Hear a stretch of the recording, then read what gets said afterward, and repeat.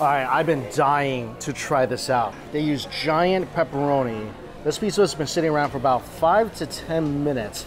So the cheese is a little less melty now.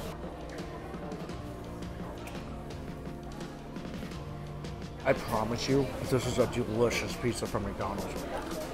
First of all, super thin, toasty crust. Nice amount of char on the back that brings a slight bit of bitterness to balance out the sweet pizza sauce. The ingredients are fresh. I like pineapples on my pizza. The crust is the best part. I mean, the crust is, dare I say, pretty perfect.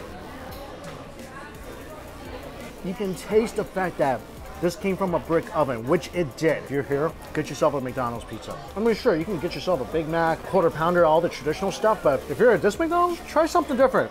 I promise you, you're gonna like it.